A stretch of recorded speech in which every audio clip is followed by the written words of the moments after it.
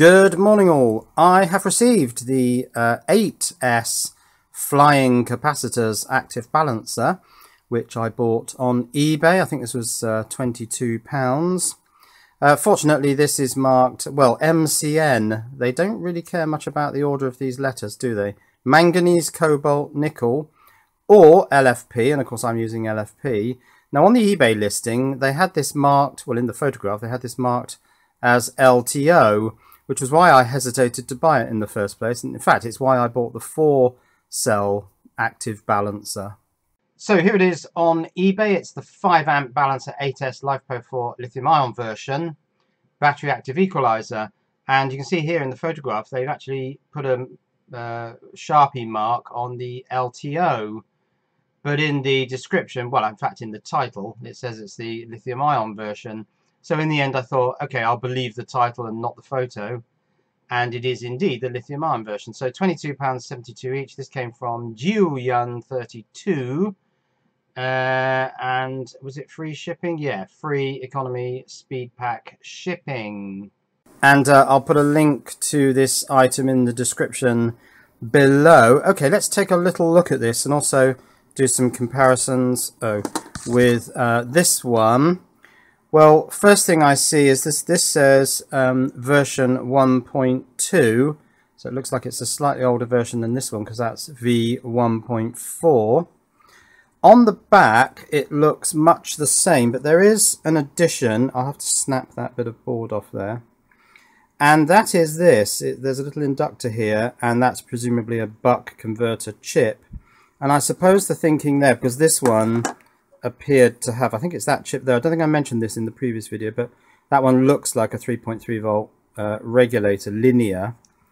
And I suppose the reason for going for a buck converter here is that the voltage across here is 8 cells worth of, well, potentially um, MCN battery, which is, well, on my LFP it's 30 volts across there. Of course, across here it's more like 15.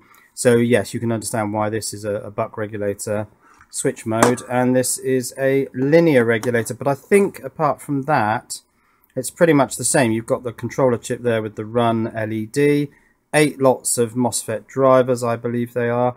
The same three transistor circuit is on this one um, as on this one. The layout is slightly different. Three transistors are just positioned slightly differently but they're there. So are they the low voltage monitoring? I don't really know um, but that's it. Essentially, it's the same. You've got all these polyfuses. You've got the diode linking um, positive of cell 7 to positive of cell 8 if you want to put this on a 7S pack, which is more common if you're using MCN. 8 cells is more common if you're using LFP because of the voltages involved. So I think what I'll do is I'll go and get the battery from the shed. Um, I'll disconnect the BMS, disconnect the high current stuff. I'll bring it in here and attach this. Now I'm just thinking, what sequence shall I do it? And I think what I'll do is I'll just simply put the most negative on. Is that the most negative? No, it's that one. The most negative on first, the black wire.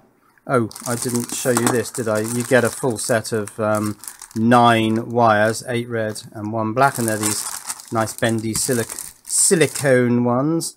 So yeah, put the black wire on and then just simply add the wires as I go and only when I get to the B7 wire will this actually power up and then I'll attach the B8 wire. That should work, shouldn't it? Right, as I say, I'm just going to snap this bit of board off, which hopefully is not needed. Right, here's the bicycle battery. It was in my bicycle and it's going back there at some point. Um, it's reasonably well balanced. Actually, I can attach the balancer. This is a balancer and monitor. Um, I had it balancing in the shed. It's been balancing for several days. I mean, the balancing is easy to start on this thing. You just press it until it goes green and it's balancing again. Does it without any external power, which is quite handy. So I should be okay to start attaching this thing.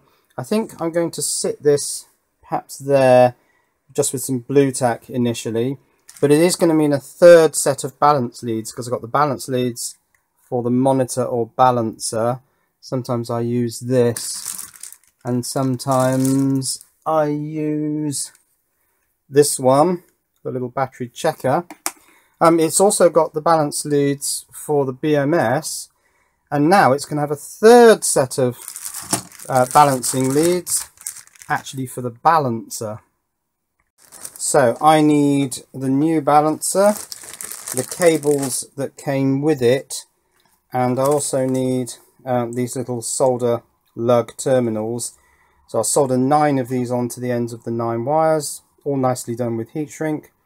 And then I'll start attaching them to the little bolt studs on my battery. Not sure if you can see those. No, you can't see them very well, but the little bolts that the balance leads are attached to. And see if it works. Right, I've put the nine wires onto the balancing board. Now I just need to solder nine of those little solder tags on these ends, so I'll do that. Right, I think I'll put it on this side, so I've got two pieces of blue tack. They'll do to hold it in place for the time being. And here's my active balancer with all the little ring terminals attached, so let's get bolting them up, starting with the most negative. Yeah, it's a shame they couldn't have put the little run light, the little LED there, on the top because it's nice to see these capacitors. But since I probably want to see the run light, I think I'm going to actually mount this upside down like that so I can see the LED. Yeah, I think this is going to be quite fiddly. Um, I need to get the black one in there. I've got to use this spanner, but I've got to be careful I don't short anything. So I'm going to go slowly, take my time, not sure how much of this I'm going to be able to film, but I'll do what I can. Right, this is the first of the positives. So if I attach that, nothing should happen. And it doesn't. But now I'm just wondering, will it matter if these all short to each other because they're dangling down off the desk? Shouldn't do, because until I get to B7, this board shouldn't actually power up. So I'll just continue like this. Yeah, I just can't get to the little nuts inside here, particularly the ones at the bottom. So I think what I'm going to do is undo the big bolts and take that link piece out. And also this uh, POSM there going to the XT90 plug at this end. Split these apart a little bit, that'll make it easier. And then put it back together again. Right, that's interesting. I've just put um, B6 positive, I guess it is, onto its position and this light lit up. Now the two packs are not even connected, so it must be getting power between B5 positive and B6 positive. Don't quite know how that's happening, but I think I want to rejoin this pack at this point uh, so that all the voltages are at least referenced to each other uh, yeah, that should be okay, joining this center uh, connector there. So let's do that. Yeah, I don't quite understand why that light's on um, when I haven't even connected B6 positive yet, let alone B7 positive, which should then go through that diode into the uh, controller chip. But it's on. What I thought I'd do actually is just connect up my battery checker uh, now that I've got this uh, middle link back on, all the voltages should be referenced to each other. So it shouldn't destroy this thing.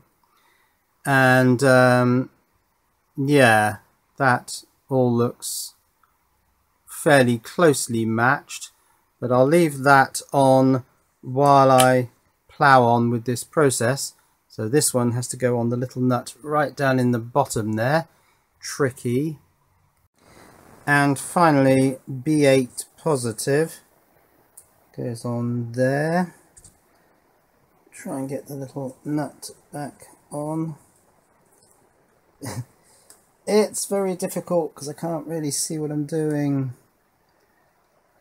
Okay, that nut is on, so I'll just splay these out. I'm just wondering if I should poke that through there. Yeah, maybe I will. Right, tighten that one. So it's all connected now. Uh, the only thing that I've got to put back is the main positive wire onto the positive stud. But I just wanted to tighten that so that this doesn't move around while I tighten this little one.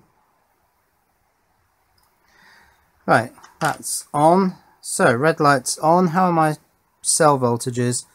Can you see that? Not quite. So let's bring this back in a bit. And they all look pretty good. Um, I've got 3.32 on the positive one. Not quite sure why that hasn't settled down to the same as the others. Maybe they are out of balance and there's a lot of quite a lot of work that has to be done by this. Of course I can't feel the capacitor temperatures with them underneath. Uh, I'll just finish wiring this up. Right, now the problem is I can't get this um, Allen key into that screw because there isn't enough room between the main positive and the main negative and I don't want to short them so I think I'm going to saw this down. I'm going to go and put my junior hacksaw on it and make a special shortened version. Right, there's my cut down Allen key. It's a bit of a mess because the saw had a whole load of broken teeth, but whatever. Let's tighten that up without shorting it to its opposite number. And that should be complete. So I'm watching these uh, voltages to see if they're sort of uh, coming together. I think what will really prove this is to start charging this up. So I think I'll take it out to the shed, put it on the solar panel, and we can uh, watch it charge up and see if the balancer is doing its job. And out in the shed, here it is in situ. The uh, balancing board is there and things just look a lot different now. All the cell voltages are really well balanced uh, within 20 millivolts. So 3.6 is the minimum, 3.8 is the maximum. Let's switch that to that so you can see that it's 26.9. Now my little voltmeter here is saying 27.0. Now this is set to trigger at 27.5 and I think now that's a bit low because I've just calculated that um, 8 lots of 3.5 would be 28 volts and 8 lots of 3.6 would be 28.8 volts and those sound much more reasonable now that these cell voltages are all effectively locked together that's um, 3.6 volts, of course, is way before this thing will trigger because the BMS cuts out at 3.75. So, yes, I'm having to kind of rethink the way this works now, but it just feels so much better with all the cell voltages being just locked together with super glue. Right, well, I've just been on the phone for an hour or so and this really isn't doing much. Uh, I've, I've lowered the trigger voltage on this to 27.2 but I don't think I'm going to hit it today. Ooh, I'm on the end of my wire, but up on that meter up there, we're only getting 200 milliamps in from the solar panel. It's a very dull day today. So I don't think this is going to do anything today. I'll have to wait until tomorrow and then hopefully this will uh, get up to this trigger voltage 27.2 and we can do the first mine of the energy in that battery but those are the voltages they're looking absolutely fantastic so yes I'm really pleased with that flying capacitor balancer. And so for this video that's it. Cheerio